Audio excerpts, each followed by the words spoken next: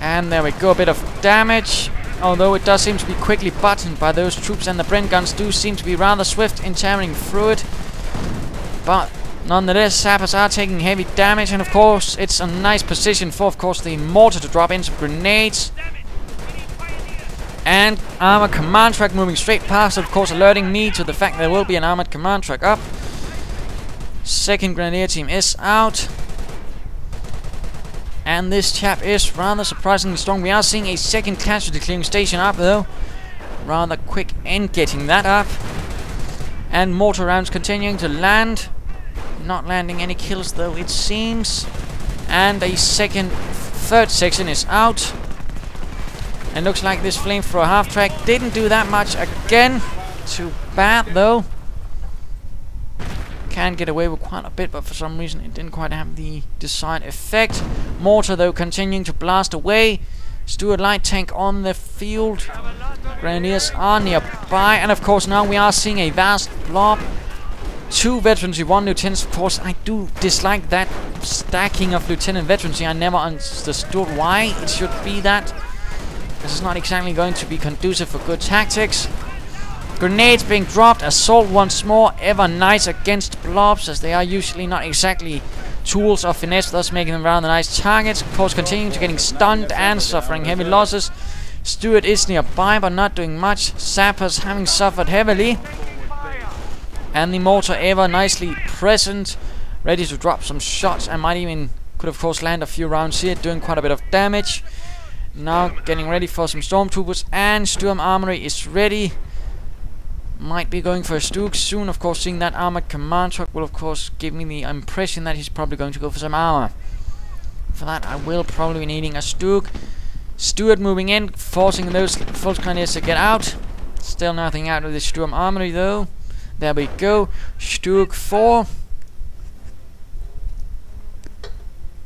Not that the third, pan second Panzer Division had those Stukes, but then again I might be wrong.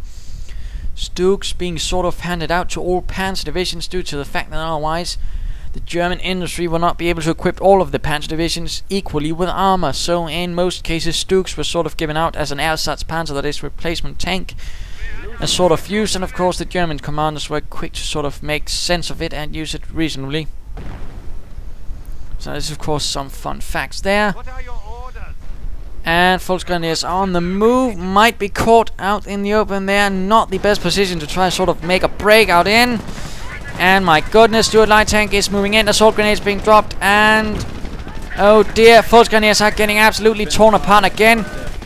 Open terrain is not the best. And now Grenadiers are getting torn apart. Forced retreat. And those Bren guns are, are absolutely beasts when it comes to tearing apart units even on the retreat. And of course that is why I... Yeah, so of course combine this with lieutenant stacking, of course it does get a bit tiresome at times. Just lots of Bren guns again, it sort of makes me long for the LMG 42 being useful. Oh Relic, if you do hear this, do buff it in a patch. And just just lost three infantry teams, or at least two. That's of course not the best situation. Regency coming up for my armor and going straight for open assault support opting for Stu 42 rather realizing I've just lost a lot of infantry. What can I do? Well, I could change tactics and go for a rather heavier blow approach now that I do have some armor, at least in terms of Stukes. And thus I opt for the Stu 42, rather nice at dealing with huge clumps of British infantry. And of course something tells me he's not going to have Piat since his sappers are with repair equipment. Thus giving that a slight advantage. So opting rather for heavy presence, opting for a rather heavy assault, and of course at the same time he's moving rather heavily towards the west, thus meaning that my assault will be undeterred for a while, and there we go, Stu 42, Sturmhaubitze, equipped with the 105mm howitzer. It is able to land some serious blows. Of course, it does have that sort of curious thing where some of the shells are apparently compressed air, not doing much damage. Cromwell on the field and running straight into the arc of fire of the Pak 38.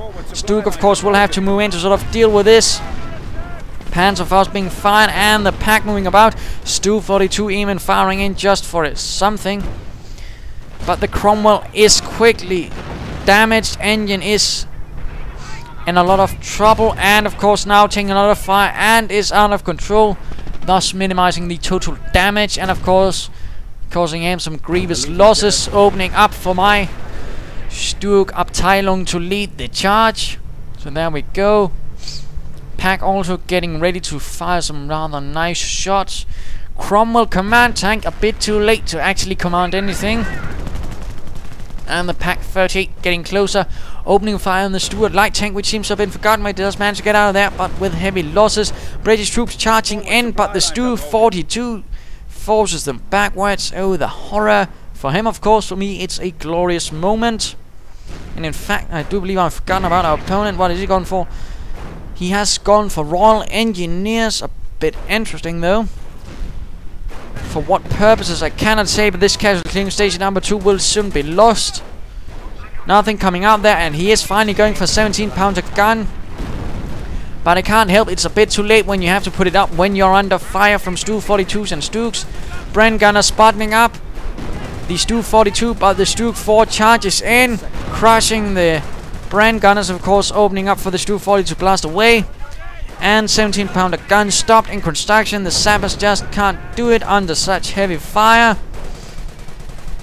But apparently returned to the task. Few joining in from reinforcements. But it's just not doing well.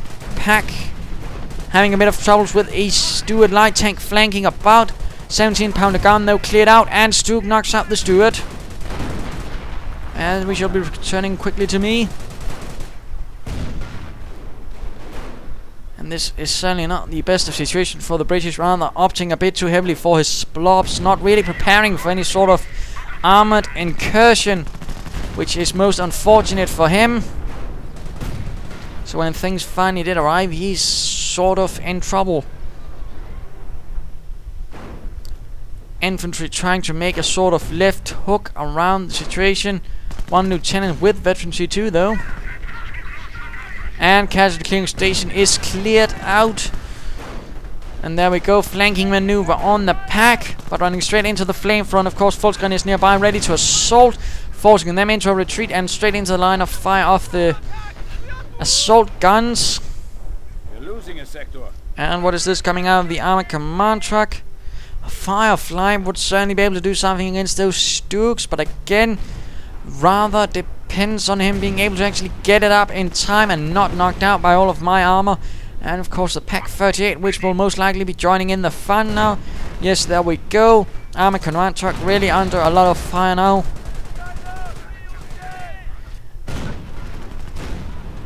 And Veterancy 2 still continuing, giving some light machine guns for my armor. And my goodness, heavy losses for the British. Looks like no, no lieutenant's gone. And the last of the Scottish are huddled here behind the Bocage, hoping to survive. Armor command track is gone, and thus the last hope of the 15 Scottish of turning the tide. Instead, the Stuk 4 and of course the Stu 42 get ready to charge in and really have some fun.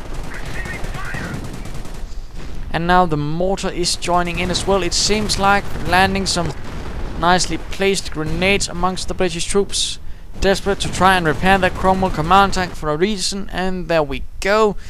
Game over. The 2nd Panzer Division secured the victory against the Britisher. So what can we learn from this? Well, blobbing isn't really going to be the sort of key that wins you the game if your opponent knows to deal with it. Mortars, assault grenades, flamethrowers, all of these things. Really good tools as you saw in sort of dealing with this clumped up sort of infantry assaults. Of course, be careful with open cover and the particular negative cover as you saw. I really lost heavily right there and that was of course a bad move from me.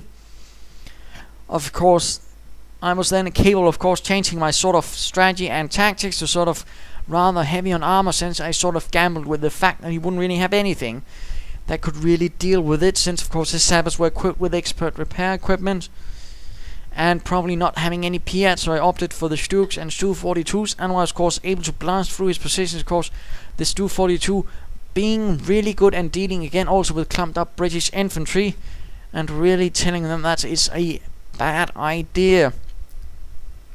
So there you go, I hope you enjoyed this fight. If you did, why not subscribe or tell your friends? If you didn't, well why not send in a replay of your own. This is ImperialDane saying, don't blob. Cheers.